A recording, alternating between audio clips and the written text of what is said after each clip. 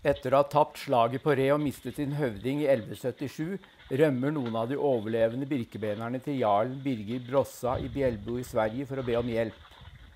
De håper å få en av jarlens sønner til ny høvding og forsterkninger for å kunne fortsette kampen mot kong Magnus Erlingsson i Norge.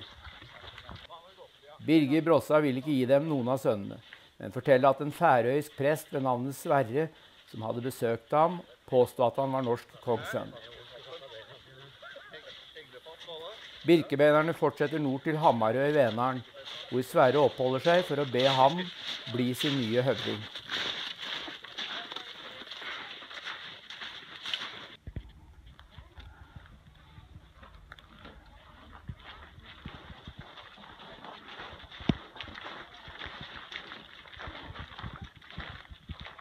Vi ønsker å møte kongssønnen. Her er det ingen kongssønn. Her er det bare en prest fra Færøyene. Det er han vi skal møte.